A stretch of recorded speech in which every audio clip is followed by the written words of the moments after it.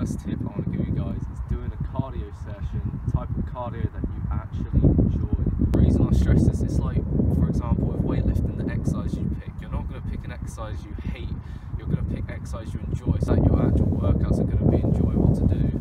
And same with cardio, you have to pick a cardio session, type of cardio that you actually enjoy in order to sustain it and actually make the fitness lifestyle in your life uh, more enjoyable, right?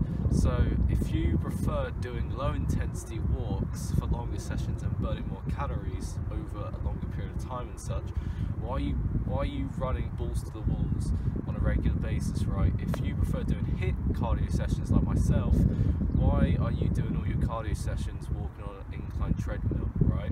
Doing cardio you simply don't want to do will eventually become very demotivating, which will actually in turn impact your performance in the gym and in fitness in general.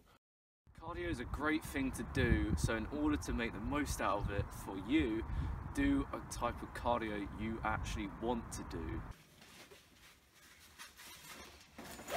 Tip number two, don't forget your earphones. And no matter what type of cardio you do, pretty much everyone wants their earphones, no matter whether they're listening to music or videos, in order to actually make their cardio more enjoyable to do.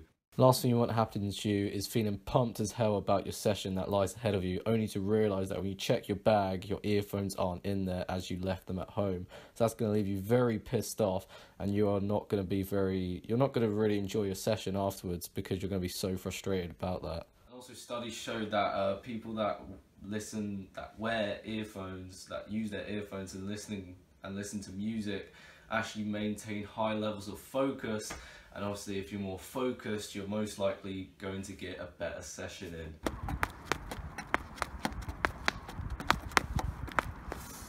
Oh, didn't see you there. I'm just kidding.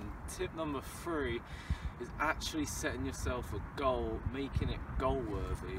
So by picking a type of cardio that is like goal setting, so you can actually set yourself a goal and actually like in weightlifting, applying progressive overload, but to your cardio sessions, it gives you like a sense of purpose, a sense of direction.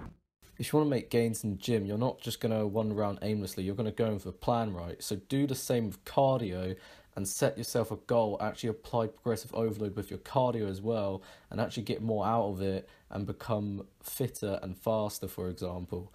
And by doing this, this can actually be seen as more motivating as well.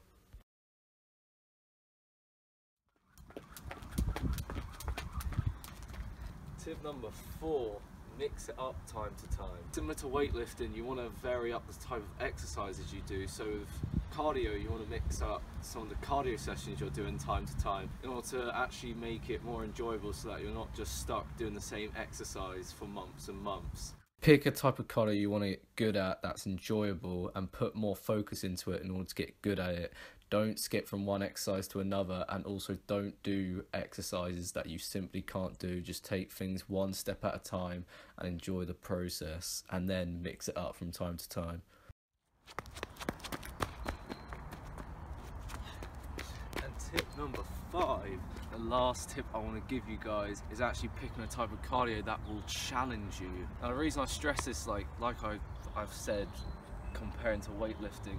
You're not going to pick a weight that doesn't challenge you because if it doesn't challenge you, it won't change you. Now I say yes, pick a cardio session that actually challenges you, but only to your actual level.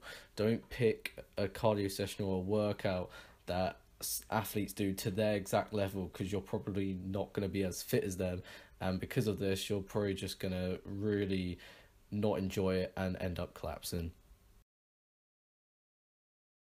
And yeah, pick a cardio session that challenges you so you can get the most out of your cardio sessions. Now as that is the last tip, I want to thank you guys so much for watching. Hope you enjoyed the video.